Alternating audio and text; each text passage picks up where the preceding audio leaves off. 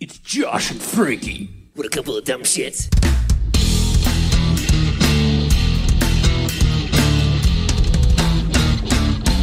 Hello, Primates! You found Primus Tracks. Congratulations. You can find us on Instagram and Twitter at Primus Tracks. You can find the Facebook page. Simply search for Primus Tracks. And you can email us primustrackspod at gmail.com. And if you so desire, you can uh, send us a few shekels via PayPal at that same email address, and I'll send you some stickers. Ugh, got that out of the way. So, I am Josh, my pal. He'll run against the grain until the day he drops. It's Frankie. Hey guys, Frankie, how's it going? it's great. You know, Josh, I wanted to to point out since previous episode where I forgot that you know you got your thing, you got Captain Shiner's yacht, Yeah. but but now I got my own thing going. Oh And no. I'm pretty yeah, I'm pretty sure you, you are aware that Nick Krusha and I have officially inaugurated the Team Envelope filter. Yes, I am well aware. I've I've received all of your promotional materials. So, dear listeners, if you are at a show and you spot Josh, yell Captain Shiner's yacht, and Josh will turn his head to look at you. If you spot me at a show, yell Team Envelope Filter, and we'll go crazy every time Les uses that on stage. Team envelope filter. All right. Uh, I will allow it for now. If it gets out of hand, I'm gonna have to be a dad on this. But uh, you kids turn that down. But all right. Team envelope filter. It's out there. It's in the world. Hashtag all your posts. Frankie will. Yeah. I, I don't know. Frankie will be your friend for life. That's my guess. um, well, he's been sitting there waiting patiently for us to get through that. We are joined today as we discuss the title track to 1999's Antipop. It's fittingly called the Antipop. But this guy, he'll drum against the grain until the day he drops. It's Rory Dolan of lespecial. Hi, Welcome, Rory. Hey guys, thanks a lot for having me back. Oh. Cool Oh. to see you. Hey, so Great to see you you and guys. Luke got to go see the Tribute to Kings tour on a couple of stops. So we heard from Luke last week. What was your experience? Let's start there. Oh man, I mean, I gotta echo everyone else that's been on and the general sentiment surrounding the tour. That um, I've been seeing the guys since 2003, um, Tour de Fromage, and uh, I always said that those are my favorite shows I've ever seen. Um, I mean, the first one, I just you can't deny it. That's my fa- favorite show ever, Roseland 11 14 03. and that subsequent tour. That's like my peak Primus for me. Obviously, I think it's for a lot of people. Um, but then this past tour, Farewell to Kings, really blew me away with how tight they were sounding, how much fun they were having on stage, um, and just you know how good they sounded in general. Um, I think that playing that entire Rush record every night really made them rise to the occasion and be on top of their chops. I mean, there's nothing better than having to play some really difficult music to get you super well lubricated, well oiled. I mean, they were like a machine and they sounded so good. And not only that, but they just seem to be having, like I said, so much fun playing this material. Which obviously, playing the material of your favorite band, I can relate to that, having played the Primus stuff. It really is just a joy, you know. So it's really fun to try to nail it, um, and nail it they did. I mean, you know, no one could do it better than they just did. So And Yeah. Rory, what's your what's your opinion on all the deep cuts they busted out during this tour? Oh man, I was just on cloud nine. Um, like Luke said, getting our Nature Boy, um, and getting the anti pop, getting eclectic electric, getting so many Yeah. things that I never thought I'd hear live. A, and definitely never thought I'd heard, hear Herb play them live. Um, super surprising and super great. Um, a little bit of lacquerhead, so you know, timely. Uh, it's timely for these podcasts to be talking about this. You know. Yeah, for sure. Man, you ran the gauntlet. That I guess that's a pun, uh, joke. You, uh, but you got all those, you got all these anti-pop tracks that have been popping up. So you're there's another one. Man, I can't stop myself. Yeah, so you're you're getting them, man. That's great. also uh, the Connecticut show we saw. We saw Wallingford, Connecticut, and Boston a couple nights prior. Uh, so I'm remembering that they did Shake Hands with Beef in Connecticut. Yeah. So that That's was right. like, holy shit, they're playing Shake Hands with Beef. That was a super surprise. Um, was the last time they had played that with Herb was like on the Beat the Dead Horse tour? Missoula. Said? Missoula 2019. Oh right, Okay, they, so they more dusted it off recently. on that one. Gotcha. Yeah, Yeah. but it's a it's a rare it's a rare thing with Yeah. It's a rare one in the net. rare one in the net. Yeah. Man, we're all going for it with the uh, wordplay today. Uh, that's great. We are here to talk about the anti-pop, not anti-pop itself, but the anti-pop track five from the record. You can't forget the definite article "the." Frankie, take it away, pal. All right, so this is a pretty long message, so I'm, I'm just going to to to read for you guys a, a very short fragment. It says, um, "I just want to thank you so much for your love of Primus. Although I have never stopped listening to them or following them, I wasn't as invested as I had been in the early '90s. Although they remain my favorite band." The podcast have, has made me fall in love with them all over again. I'm looking at the albums and tracks in a whole different way and finding new things to love about them, even after 30 years. Thank you for bringing that joy back again. So I received, well, Josh and I received this lovely message from F in Japan. And Josh, we have an open invitation to hang out with Ed anytime we are in Tokyo again. So, Ed in Japan, thank you so much for your lovely message. Are you not doing well in school? Is your mind turning to the water? Then get your fishing lures from tugfish.com, a fishing supplier that specializes in supporting small businesses. All fishing lures at tugfish.com are hand built by small, family owned businesses in the USA. Whether you're fishing San Pablo Bay, Muir Beach, Bolinas Lagoon, Bodega Bay, or your local pond, get your fishing lures at tugfish.com. And stock up on Carolina rigs for Christmas.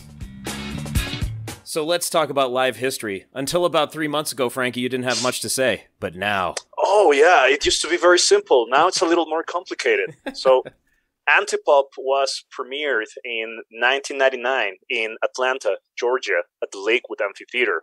And, you know, back then, they were only doing very short sets, and Antipop was the only song from the new album to feature in these sets. I mean, they teased Lacquerhead a bit, but Antipop Oh. was basically the only new song that people got to hear back then. And is this Then, the Oz- as a, Oh, sorry. Oh, Is this sorry, the yeah. Tour? Right. yeah, that's right. When they were doing these very short sets, Okay. as you know, as '99 uh, went on, uh, they kept playing Antipop. You know, it never left the sets, and it carried on all the way to 2000. But as you know, after that, it disappeared for two decades Yep. until it was resurrected completely out of the blue at Pachyderm Station in Sebastopol for the streaming event. And Yeah. after that, you know, it came back for a heavy rotation during the last tour, during the Tribute to Kings tour. And I must say that it was a, a really, really pleasant surprise to have this song feature in the set lists. Absolutely. It's not the one that I would have guessed. Because I remember Herb saying on one of his Instagram lives, he said, Yeah, I'm learning a bunch of Brain parts. And my mind immediately went to, Oh, they're learning a bunch of Brown album stuff. That'll be fun. Exactly. Yeah. Yeah, Antipop was out of the question. Right. Yeah. Just automatically disqualified it in my own uh, thinking. I was like, no, they're not going to do that. Lo and behold. So that was a great left turn that they took uh, back into this record. Uh, so, Rory, you got to see it. What's your general take on this track? Uh, having listened to it a bajillion times, you know, from the studio version, but also catching it recently. I like Antipop as a as a record. I know it's like a mixed bag as far as Primus fans go, but I really dig the record. You know, there's some maybe some songs I don't really replay a whole lot. But yeah, I like this song a lot. I think it's it's very much Primus. It kind of evokes this almost Metallica vibe to me, this almost Black Sabbath dirge at the intro section. Um, the lyrics, I think, as a you know, when I heard it originally, I didn't really wasn't really totally into the the chorus or what it was saying. Um, I don't know if I really had a basis for it when I heard it in seventh grade. Um, I don't mind it as much now. I think it's like Frankie mentioned earlier, kind of ironic um, and interesting to note now. But in general, I dig this track. I mean, I really dig Brain on this track. Obviously, um, I dig kind of the intro section, which I would call kind of the main theme section. Yeah. envelope filter section. The delicious envelope filter. Yeah, that comes back a couple times, and Brain has this gargantuan roundhouse, clockwise and then counterclockwise drum fills, Yeah. um, just full of energy. So I dig this track. It's not my favorite track on the record, um, but Luke talked to you about my favorite track on the record already. You're a gentleman for ceding Lacquerhead to, to Luke. Going back and listening to it again for the first time in a while, uh, I didn't realize that those the samples and the sound effects at the start of the track are 40 seconds. It lasts 40 seconds. It's such a Very long, 90s. It's very Yeah, 90s, yes, and Yeah. it's such a long intro.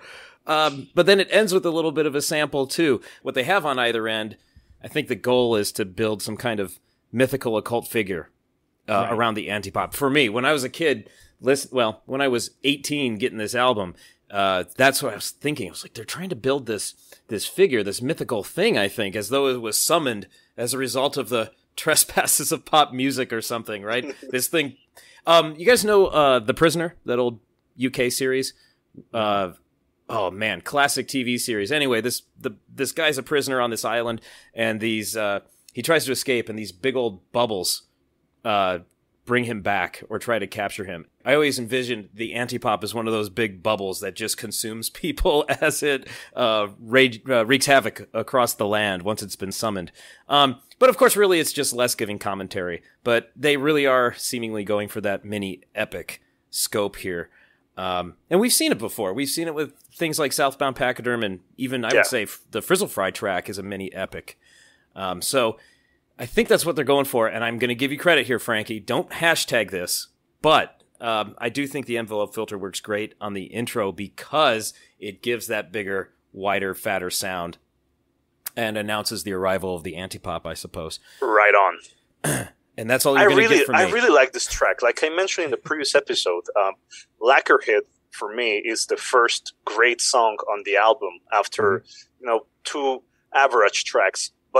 After Lacquerhead, for me, this is another heavy hitter. I really, really love this song, and you know, generally, I think Primus uh, outdoes itself live. But with Antipop, it's strange. Um, I don't think you know. I mean, I'm I'm glad it returned to the sets. I love how they play it, but nothing tops the studio version for me. And Rory, I want to ask you along that line because this is a fairly heavy effects song, not just the envelope filter, but Larry's doing some stuff too, especially in that that middle section, that slowdown. Is this a tough one to replicate live? I mean, you guys, as especially you guys, record some stuff that would seemingly be difficult to replicate live, but you also have about 13 semi trucks full of equipment on stage when I see you playing online. So I don't know how difficult it would necessarily be to emulate live. Um, in the instance of like some of those samples, that's something that we would be privy to, like sampling something. I think when Primus does that, they generally have their engineer at front of house just play the samples. Um, I think anyway, I believe that's what happens because no one on stage has a sampler, um, at least to my knowledge. Um, but yeah, I don't know. I didn't I didn't perceive it as being too hard for the guys to pull off. I would almost say something like Eclectic Electric was a little bit more daunting compared to Antipop, but they both sounded tremendous to my ears. Um, I think that Herb, uh, the shows that I saw, I think they only played Antipop at the Boston show, if I'm not mistaken, but um, not in Wallingford. But Herb's a little bit more reserved, I'd say, with the fills. I mean, he does that roundhouse and then counterclockwise fill, just like Brain does, because you can't miss that one. But it's a little less, you know, it's all about the cymbal chokes and the two splashes back and forth with Brain and just this kind of fierce energy to it um, that I think is a little bit more laid back when Herb is playing it. That's just my take. I think I I agree with you, and I remember Frankie and I uh, commenting upon the Pachyderm Station performance um, that Tim was taking it uh, taking it down a notch. But it's hard to. I think it's really hard to do what Brain does, just given his level of energy and the intricacies of everything he can do. Totally, and it really boils down to stylistic differences between the two guys. It's like Yeah. as much as either of them emulate the drum parts, they get pretty close and it sounds great, but it's never going to be the exact same thing because that's just uh, Brain's DNA and Tim's DNA. It's going to be that that fingerprint, you know. Can never really get right on top of it. How about your DNA? I mean, we're because we've heard you play some some Tim Alexander parts that sound like Tim Alexander's playing them, but before we press record, you were talking about some of the stuff that Brain's doing in this track um, that it is somewhat difficult. Yeah, this one was something that I hadn't really tried to play before. I mean, I probably played to it at some point, but never really endeavored to learn it. Like, nah, not note for note. I'm not going to set myself up like that because I don't have it note for note. But um, very difficult to nail, and um, a lot of, like you said, intricate things, especially on the hi hat um, that he does that are very specific and very just precise. Um, combined with just kind of fierce energy and um, his pummeling of the drums. That's a kind of a, a contrast that's sometimes hard to keep up in your playing. And I commented to you earlier that this was probably one of the harder tunes that I've endeavored to try to learn. And we've never played it like in lespecial, so I've never uh, tackled it in that respect. But just kind of going over this and trying to get some of these fills and the way he gets around the kit in this track was very challenging for me. So hats off, hats off to Brain for that. And um, yeah, like I wouldn't like being in Tim's shoes. You could see the path that he took. Like, okay, I'm going to take these big, pretty important moments that I need to definitely translate and get into my interpretation. But I'm not going to go for every single little nuance because, like you said, when you do, it's just the difference between those two drummers. You know. That was great insight, Rory. Yeah, absolutely. And Thank you. And I don't want to uh, put too much pressure on you, but you are sitting at a drum kit. Can can we begin with um, the drums before the one minute mark? Sure. So the intro. Yeah. ah, They're Sure. here. Poltergeist. Shout out Poltergeist. You know, it's funny. That's one of the, one of the things you could have missed if you weren't paying too close attention. it I is kind of like I was- buried in there, isn't it?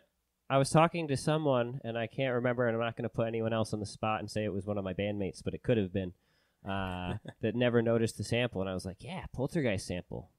Uh, Yeah. So that's pretty cool as a horror fan. I like that. Nice.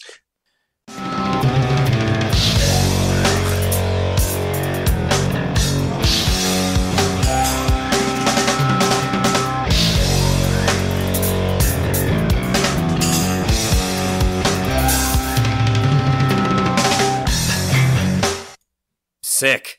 Absolutely. The, the hi hats you pointed to, The but little he's splash. the little sp- oh the little splash, yeah, and then he's just Yeah, yeah. on to the next thing. But it's such, ugh, he's filthy. Yeah, it's disgusting. It's crazy. Um, and it's funny when you sit down to learn a part like this. Like this has happened a lot before with me. Um, with learning all the Frizzle Fry, blah blah blah, any Primus song. Sometimes I'm like, oh yeah, I know how that goes. I know how that part is. And then you start getting a little deeper into it and peeling back those layers, and you're like, oh shit, that's a little bit more. It's a little denser than I originally thought. But that being said, let's go ahead and uh, take it from. You know, I'm gonna since in my head it'll make more sense if we go from like.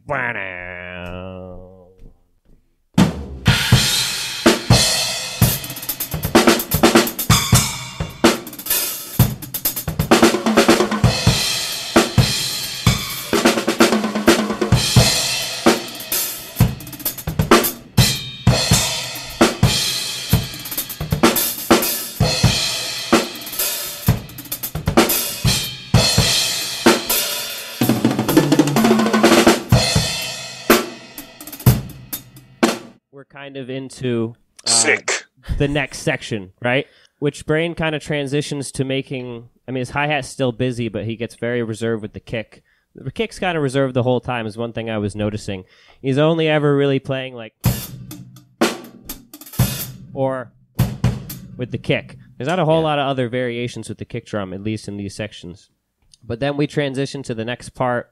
Oh, actually, you know what? Let me break that down a little bit more because that wasn't super uh, super on point with all those fills that he was playing. One, two,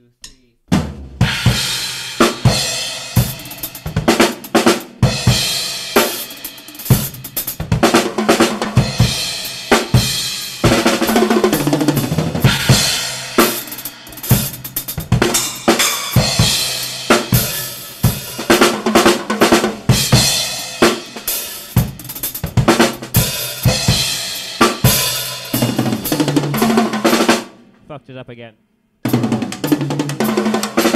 So that's the counterclockwise thing that I was addressing. He does a short version of it right before the the first time they go into that. Yeah. So he goes. So that's 16th for rhythm, like you know the music theory side of the rhythm. It's 16th note triplets. So you're taking what could be three, one, two, three, one, two, three, one, two, three, one, two, three, making it six. So one, two, three.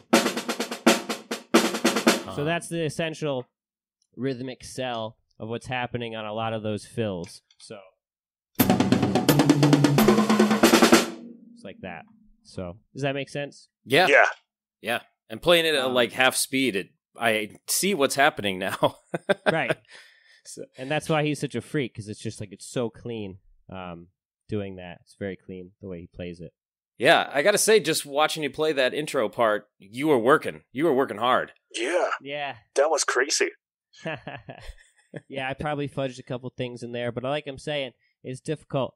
Um, but a lot of the characteristic Brain things happening there, cymbal chokes, the kind of like two splashes back and forth kind of thing, um, hi hat, just kind of crispy hi hat work. That's kind of, you know, Brain and Jay Lane have, I think, a little bit more in common in terms of their intricacies on the hi hat. Yeah. Not that Herb doesn't do that. I mean, there's lots of instances of that, but um, you know, it's closer to a Jay Lane part than it would be a Herb part. Yeah. Yeah. Hearing you play that too, or hearing you demo that uh, solo wise, I'm hearing that the kick in those those crash cymbals are when the instrumentation's hitting their their notes or chords, down now, now, now. But then there's all that Mhm. space for Brain to do what he's doing on the hi hat and roaming around on those toms and and whatnot. There's just so much space for him, and he's filling it beautifully. Yeah, that's a great point because like there's really nothing going on with Les and Ler after that, so Brain's just picking it up.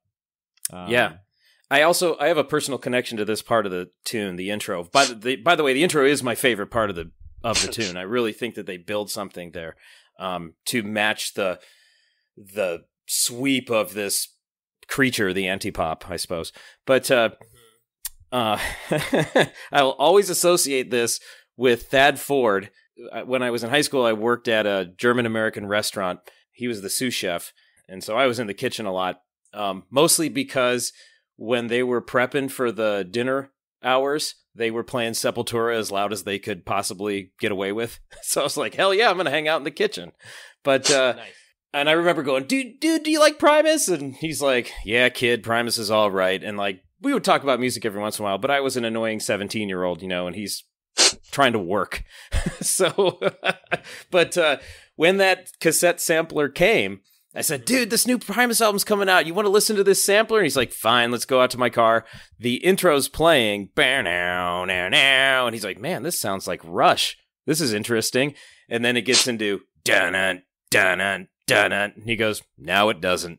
I was like, all right. So he he liked Primus enough, but he was like, sometimes they're annoying. But it was really funny for for me to uh, hear it through his ears. So I always associate that with there's a Rush influence there to a degree. I think. I mean, Rush was really good at these majestic sounding songs parts, and Primus doesn't reach for that every once in a while. But it seems like they're doing it on the intro to this track, and I think it works.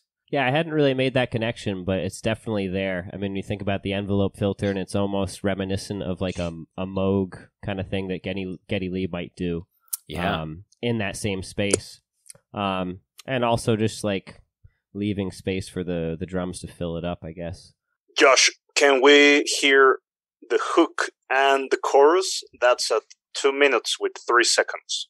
Let's hear it. Formation through the holes in my skull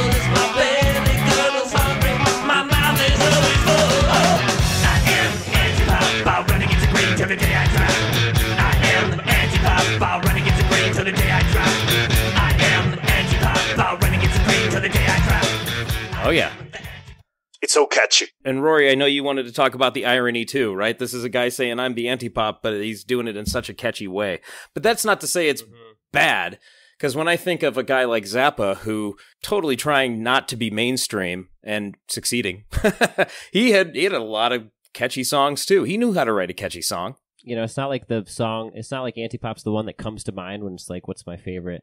or catchiest Primus song. But that is a very catchy hook, especially for Les at the time. I could only wonder what what everyone else thought of it at the time. And it, and this is the one that they were playing in the lead up to the album release. So Yeah. I thought this was going to be the lead single, and then it wasn't. But you know, because we got to hear it in the bootleg barn back in 1999, leading up to the uh, album release. But that's a strange little curio in and of itself. But uh, it seems like an anthem to me. You know, I am the anti-pop, and uh, you can hear it a lot better. the The mix is a lot different on that cassette, that sampler cassette I keep referencing, and I posted it on Instagram a little while ago. So anybody that wants to go listen to the music can. Um, that promo. but you can really hear the vocal tracks of Les doing I am the anti-pop, you know that like that or I am anti-pop and it's just Yeah. that kind of robotic sound but uh for the backing vocal, but it's kind of cool. It, it it works. It adds a lot. I was actually thinking about that when I was listening to it on my these headphones just the other night. Um, I hadn't really been drawn to that as much before, but it's a very effective kind of background vocal. It kind of just beefs up that hook. Yeah, and if I and I haven't listened to it in a while, but it uh, I think there's a falsetto in there too. I think there's a I am up way up there. I think I could I be wrong. doubt it. I could hear that. Yeah. Yeah. so that part's interesting to me because in and maybe Rory, you can speak to this. It seems like Brain's playing it straight to a degree. It's very much in step with what Les is playing. Mhm. So when they land into the verse, so you know, you take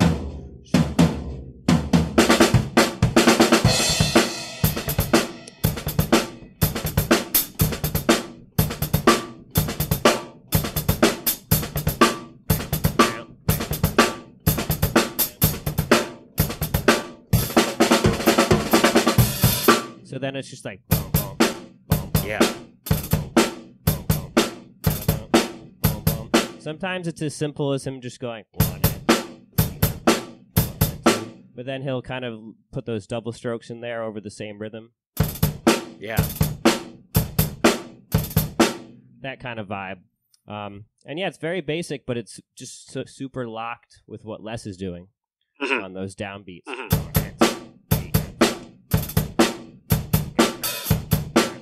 So, yeah.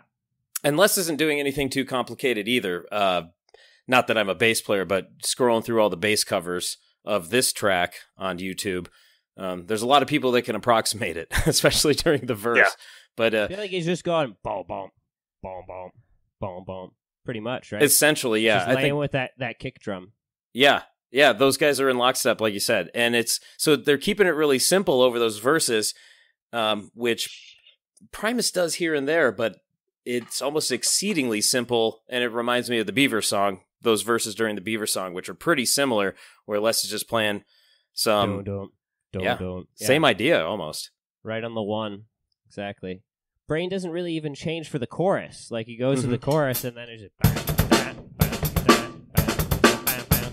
It's kind of like the same thing, just over. You know. Josh, can you play the solo and the breakdown at three minutes with eleven seconds? I can, and I will.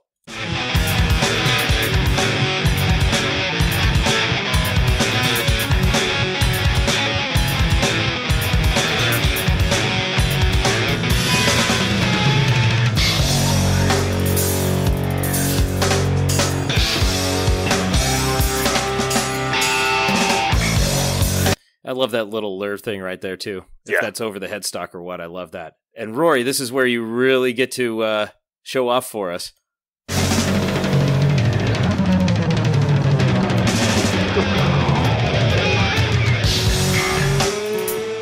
That's nine seconds of madness there. Let's just let's just take a moment to you know to realize that first it's a really cool Ler Ler moment, and then we get envelope filter, and then that amazing drum part.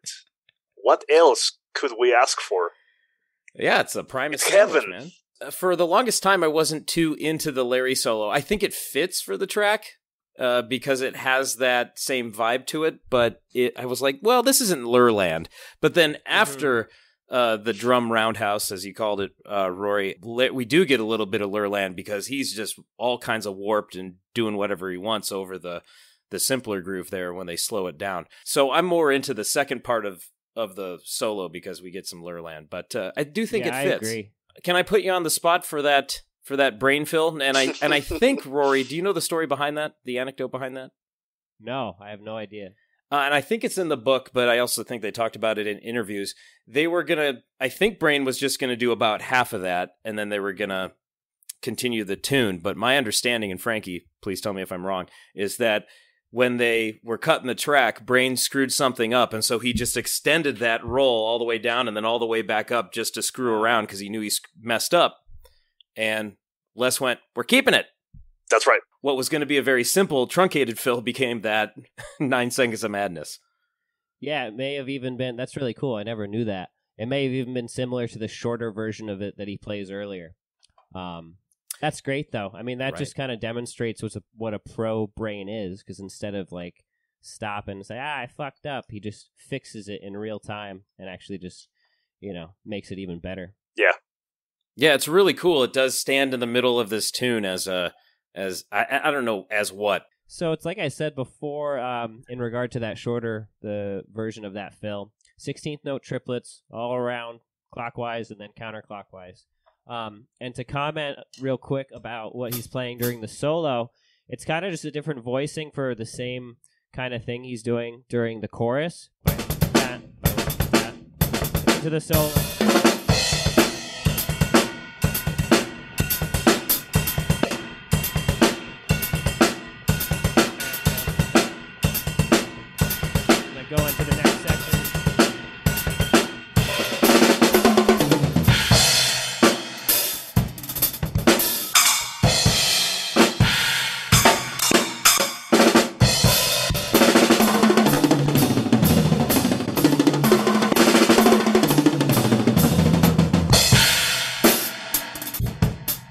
That's That was amazing. Ah, yeah.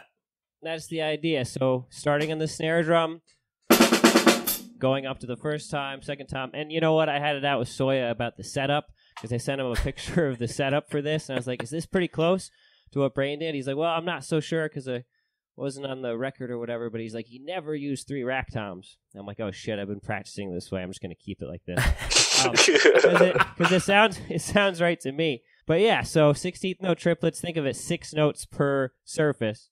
It's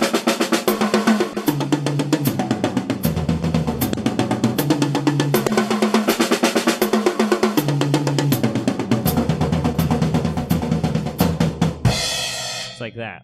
Man. Insane. with a with a triplet on the last beat. Yeah. So, um, and you know, it, it makes it even better the fact that um, it was a happy accident. You know, I never even knew that story. Yeah. Yeah. or is pretty this is this any Okay. harder to play than what's going on during the breakdown of Duchess, or is it in the same realm? Um. Ooh. I guess it's in the same realm, pretty much. Uh, the Duchess drum solo is even faster, I would say. Um, it's definitely in the same realm. Um, but again, that's funny because like Brain totally improvised that too, and he didn't even think that that was that dope, and it surely is. Um, yeah, that's a crazy fill, and I was happy to see Herb do it because it's a very kind of I would almost think it's like Brain's Southbound Pachyderm. You Yeah. know, like Herb's got Southbound, crazy fill. It's faster, um, a little bit different, but you know, you know what I'm saying. They are related uh, in that regard. Those are signature moments for sure. For you guys to ask Brain about that, that's a great story. Josh, there's something about Les and the word go that just makes any Primus song so much better. So we have Jerry was a race car driver, we have Hennepin Crawler, mm-hmm. we have Camelback Cinema, and we have a round of goes at the outro of Antipop. And that starts at 4 minutes with 50 seconds. Can you play that part? I can, and I'm going to ask you a question after we do that. Here we go. Till the day I drop, I am the X-Pop, the man you stop.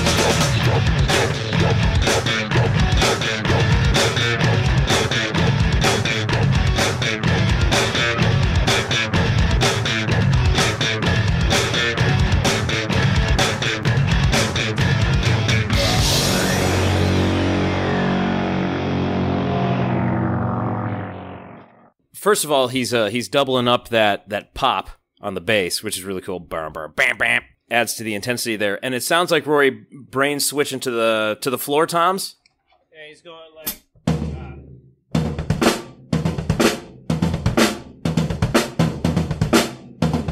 That Yeah. kind of vibe. Essentially, that's what he's doing there. Yeah, so that adds to some of the atmosphere too. Now, I don't hear goes in there. I just kind of hear the swooping sound. But is that somebody saying go that's like mashed up or what? Before Frankie answers, I I heard stop because the man you cannot stop, stop, stop, stop. I almost hear more of an S sound, but It's interesting. Go on, Frankie. Oh, all, all my all my life, I've been singing along with "Go, go, go." go. oh, interesting. Because I always heard it as a swooping sound, like, like I, I'm gonna try to, yeah, just got the three There's, different a vo- there's definitely a voice in there. But yeah, it's funny. I tried to hear go when we just listened to it because I always thought it was stop, uh, but I couldn't hear go. So I had to Frankie might be the only one that's hearing go in this. I'm not sure, but I but do I a might be the only idiot hearing a swooping sound. That it's just a sound effect, and I wanted to ask you guys what that was. So it could just be a vocal that's manipulated. I'm not sure. Yeah, it's definitely the vocal is definitely manipulated. We know that Yeah. much for sure. Okay. and and he and he never did it live. Right, that's a good point. Oh, he doesn't. That's yeah. We don't get the goes live. Do anything vocally there? Yeah. Okay. Well, Frankie, that's your next request when Les surprises us again.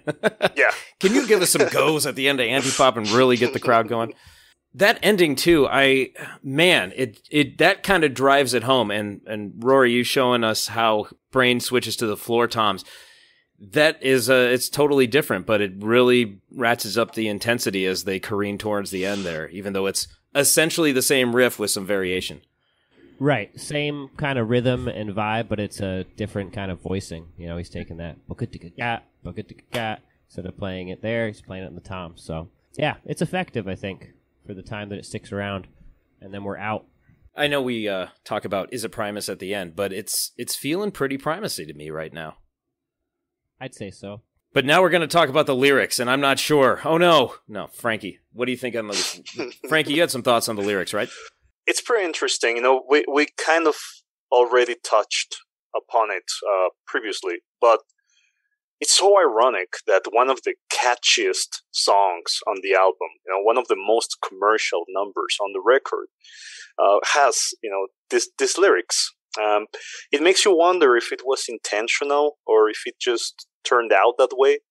But for so-called anti-pop, it's definitely one of the poppiest numbers on on the album and i i kind of look at it and you know i'm not sure if if i if i read Les saying this and that's why i remember it or if it's my own interpretation but the way i see it it's Les making a comment you know similar to what he was doing with Seas of Cheese back in the early 90s you know how they were signed to a label that also had Gerardo on it and they were trying to survive you know this kind of this kind of scene. And almost a decade later you know it's the same situation.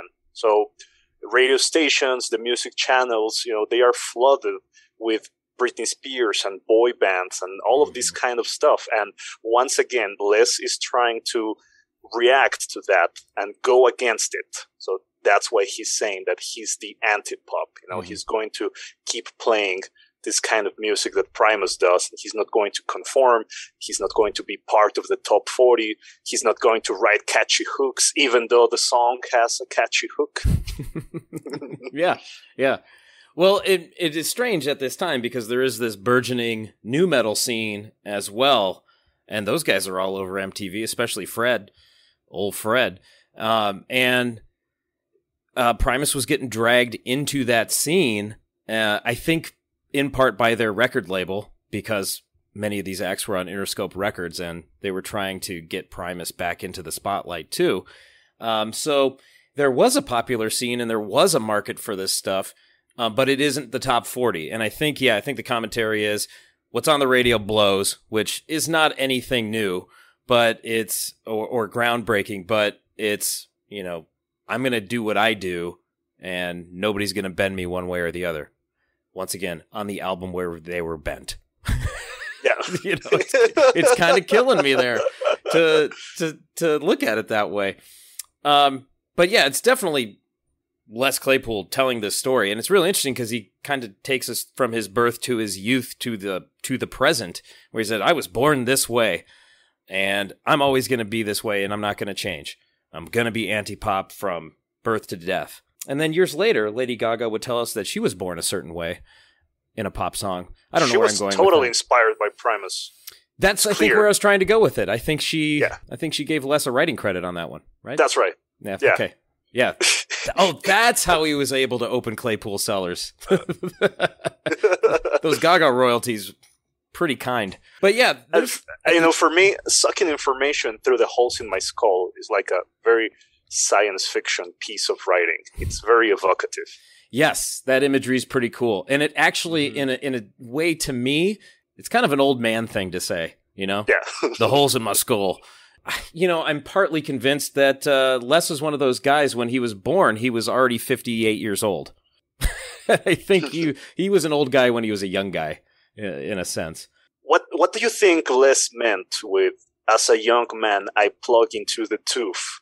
You- The radio tubes, old timey radios were made of tubes, so just like your old tube TVs and that sort of thing. So I think that's what he's talking about there. Oh, and then he follows that up with the stench of all that pretense. I Yeah. really like that line. um, stench is a great word, and the pretense, right? The pretense of pop radio. And I was looking at some of the Billboard singles, like the Billboard singles that lasted the most at number one in the '90s. There's a lot of pretense going on in some of those. There's some pretentious stuff.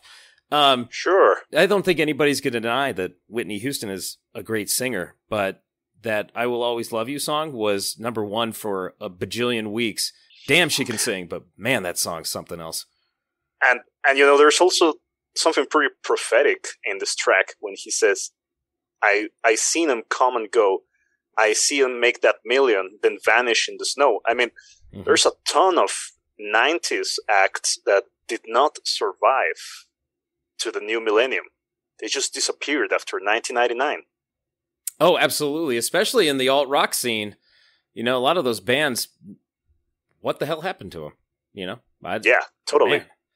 Um, when was the when was the last time you heard a song a new song from sugar ray never right Yeah, we. Yeah.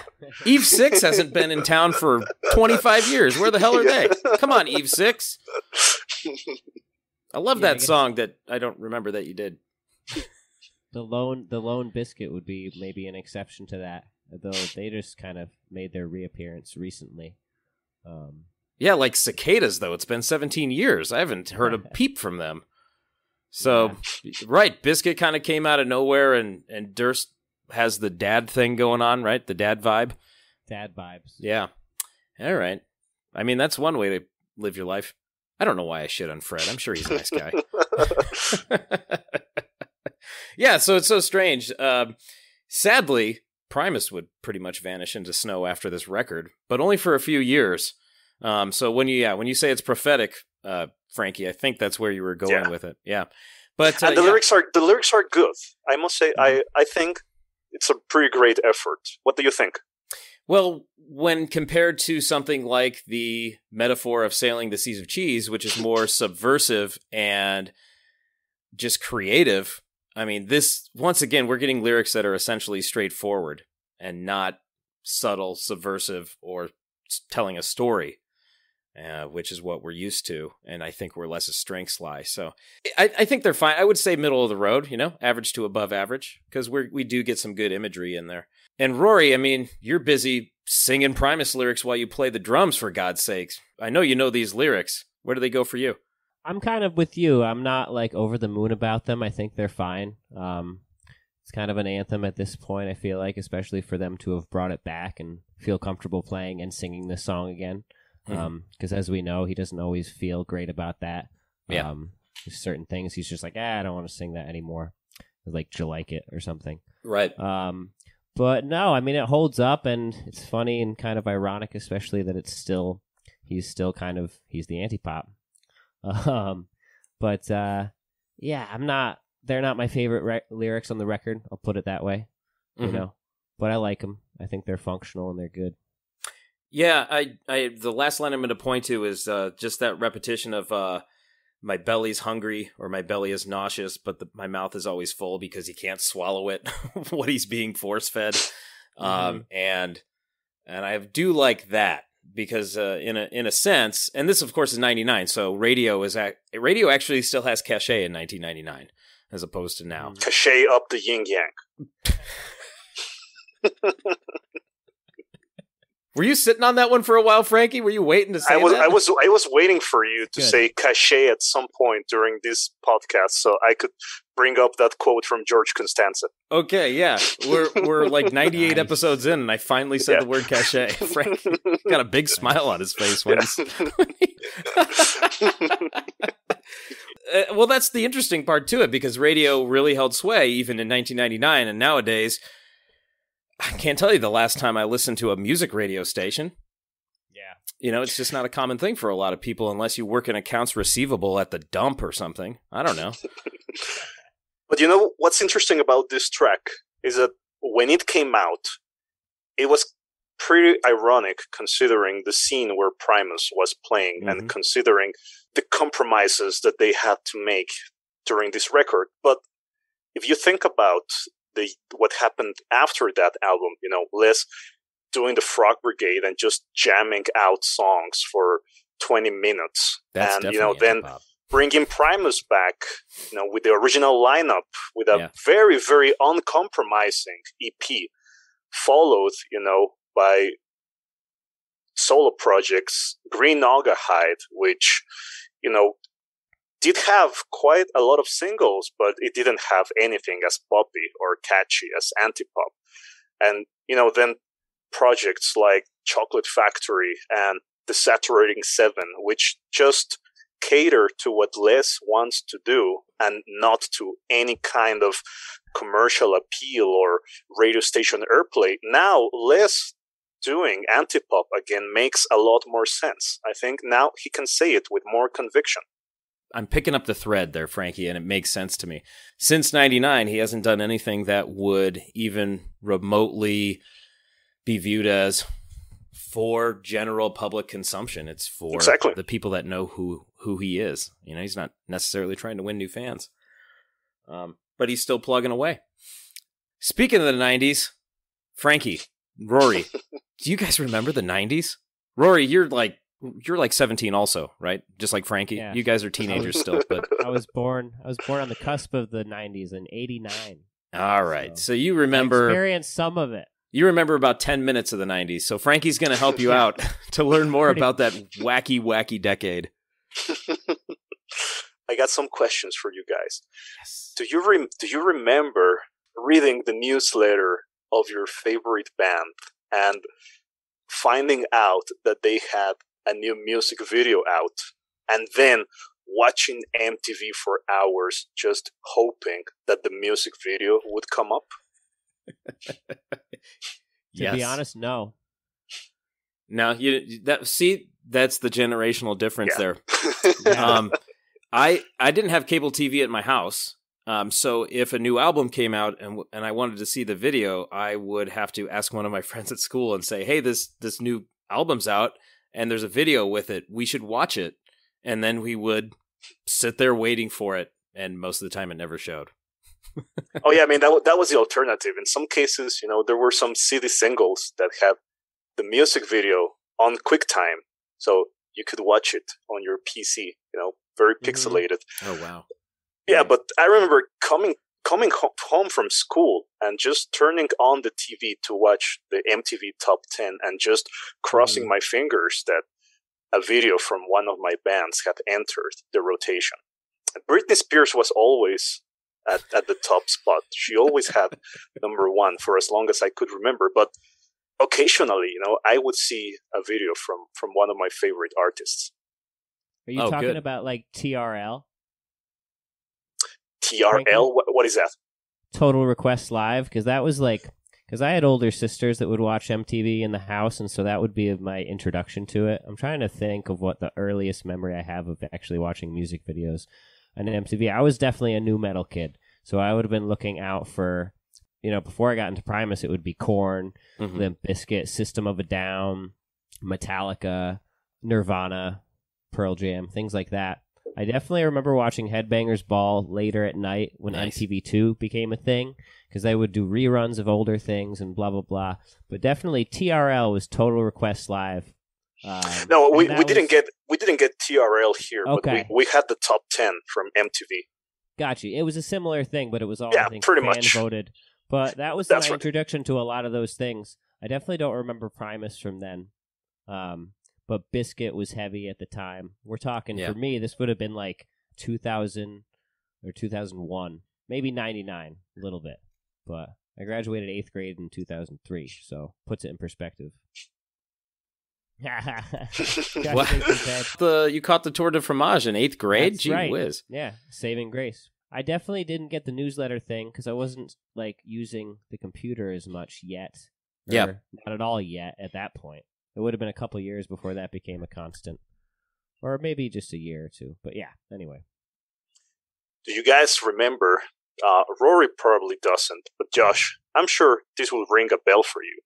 Know, reading about a band in a magazine or hearing about them through someone, and then going home using dial-up internet. You know, waiting for for that phone call to to end, so you could browse the internet, and then going to the search engine, typing out the name of that band, and visiting Angelfire websites full of glitter and bizarre animations that would make it make it very difficult to navigate and you know just dig in as much information as you could about these bands online in the early days of the internet Oh, absolutely. Um, yeah, all those GeoCities pages dedicated to this band that I was trying to find out about. We've talked about how Primus was on the cutting edge of the internet as far as reaching fans and putting content out there.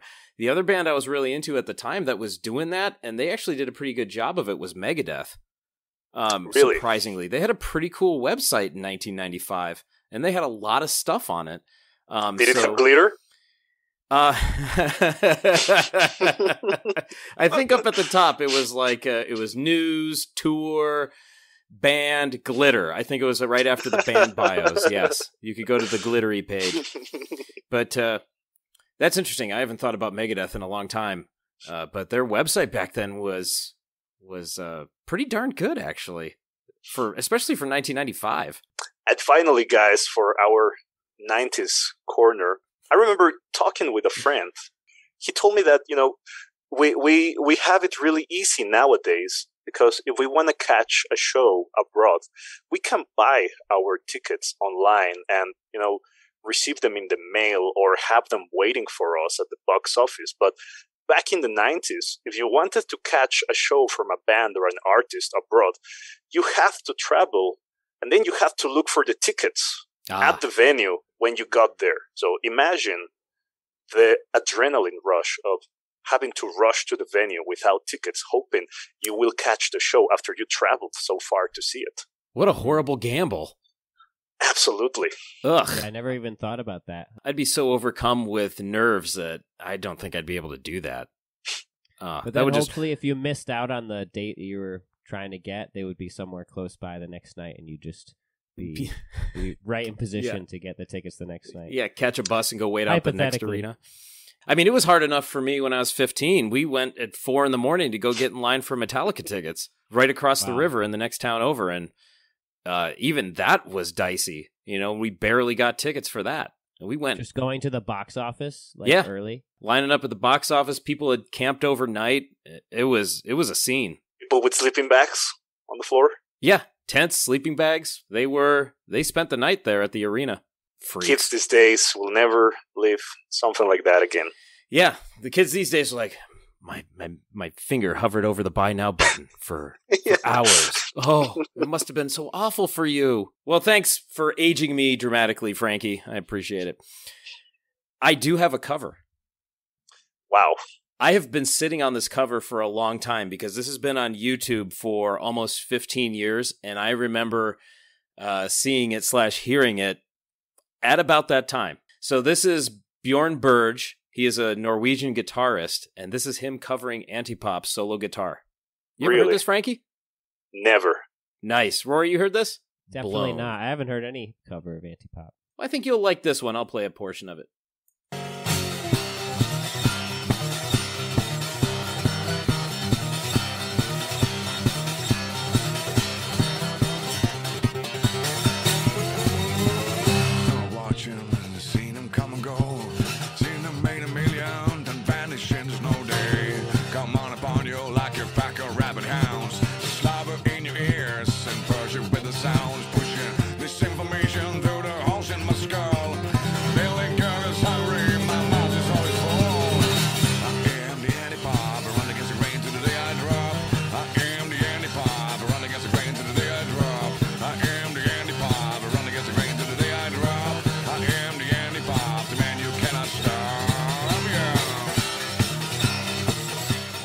He almost gave you a go there, Frankie. Yeah, I was wondering if he was going to do the goes at the end. yeah, that's pretty fire. That's a very compelling cover, and I have been waiting to share that with all our wonderful listeners, all twelve of them. Not at all what I would have expected, but that's great. I have a feeling that Les would actually really dig that. Yeah, at this point, he must have heard it, you know, by now. May have. He could do it to twang it and, and pay tribute to, to Bjorn. Oh, of course, yes, Bjorn Burge. definitely twangify it for Bjorn Burge. Um, that's out there. That's been on YouTube for a long time. So go check that one out. It's one of the more compelling Primus covers. I've Pretty ever heard. cool. Yeah, I like that. Yeah, I'm a fan. I love that jangly sound he ach- he achieves there. Um, well, I think I know the answer to this, but I'm going to ask you guys anyway because it is the anti-pop record, and Primus was having an identity crisis and so on. So, Rory, Frankie, is it Primus? I'd say absolutely. Absolutely Primus for me. There's not really anything in there that would tell me otherwise. Primus at a very particular time in their careers, you know, at Yep. least lyrically in that respect. Instrumentally and musically speaking, I think it's super on brand, on point, and uh, on character for them. That's me. What do you think, Frankie? I think it's definitely Primus. I think it doesn't sound out of place with the rest of the songs that they play nowadays. It blends in quite well, you know, with with the repertoire. And what what can I say? You know, the studio version is just so rich with detail. It has so much going on, especially with the drums. You know, I think it's one of Brain's finest moments. Um, I'm very careful, you know, to say Brain during these episodes because Yes. I had a slip. I had a slip, and I said "herf" one one day, and yeah, I know, I know people were ready to crucify me. So I'm, I'm consciously making an effort to say "brain." Yes, brain performs amazingly on this mm-hmm. track. So mm-hmm. yes, for me, it is one hundred percent certified Primus. And I didn't mention this, but this is the first track chronologically on the album that is produced by Primus and has no guest musicians. So, or guest mm-hmm. producer. For me, uh, yes, I'm going to say this is Primus too. Through a bit of a filter, but it's definitely still Primus. And and I think that filter is what the record company was pushing them to do for the record. But this is definitely a Primus track. And I think you're right, Frankie. Other than the novelty of hearing it for the first time live in 20 odd years, it does fit in with the set list. And I think it's I- I think it's wonderful that it does. Roy, you mentioned it earlier, but I think Herb's doing it justice in a Herb way, and and it fits. So Definitely. It's unanimous. It's Primus. oh yeah. All right, we have a couple live cuts. We, Okay, we're gonna we're gonna hear Rochester 2000, uh, delicious soundboard, just Oh, awesome. like Soya likes them, and you know, I think this is a good example of what antipop sounded like back in the day. So it's going to be a nice contrast with what Josh is going to play. You said you had timestamps. Damn it. oh, Well, I, I'll I try. had timestamps for, for the studio track. Oh, okay. Let's see. Let's try this.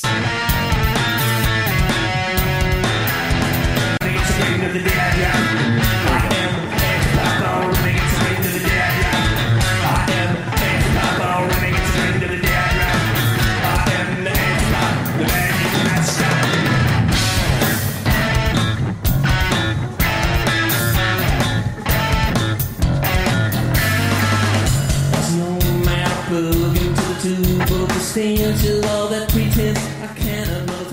not as growly on this one as he is on the Does, studio. does it strike you as a, a little slower than the studio recording? Oh, I thought they picked it up a little bit. Yeah, I was gonna say in, in typical kind of live brain fashion, I thought it was a little quick. But Oh, it might be it might be right on the money. I thought it was a titch faster, but it could be album speed. Yeah, his voice is not as growly as it is on the record, um, and I was going to make note of that earlier. It's almost as if on the record, when he's delivering these lyrics, he's just so full of disdain for what he's talking about because it's the world of pop music, and ah, I'm the anti-pop. So you know he's down there growling a little bit. It's more of a cavalier vocal delivery there, which is kind of funny. Plug into the tube. I don't know what's going on there, but That's a It's nice sounding uh, recording, though. It is a nice sounding recording. Yeah, Yeah, I would like to hear that whole show. sure, we can hook you up. I'll press play Uh, right now and we'll just listen to the whole thing together for the next hour. Go. so, hold that one in your head because I do want to play the intro to the Antipop from the Pachyderm Station show. Um, because, and I was going to point this out, but Rory, you did earlier that Tim is more reserved in how he interprets the drum part. So, uh, especially on that intro. So that's what I'm interested in playing right now.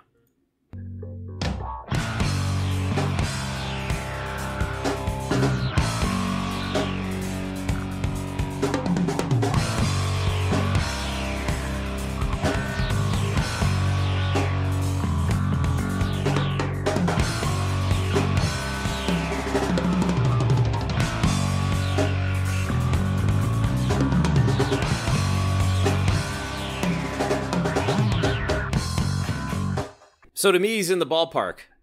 Yeah. Certainly, and funny after hearing that again just then, it's like not that he's reserved. He's kind of just making it his own and playing like the idea and the general framework, but not the very specific fills. But it's certainly right in the ballpark, you know. And then of course you have the added element of them doing the stream in that room. You don't have that kind of bigger live sound in general. I'd be curious how that stacks up to like a recent recording from Farewell to Kings when you have the Yeah. actual kind of ambiance of the live show as opposed to kind of just doing a stream in a room on the studio sound and whatnot. But but no, he's killing it. And you can tell he's enjoying what he's doing. Or sorry, I would love to talk them into doing uh, releasing the soundboards from the Tribute to Kings show uh, Yeah. tours. Excuse me. I I have a feeling that they record every show anyway. So Oh, yeah. like, why why wouldn't they start selling them? We'd buy them. One, two, three heard of it. us right here. You heard it. You heard it here.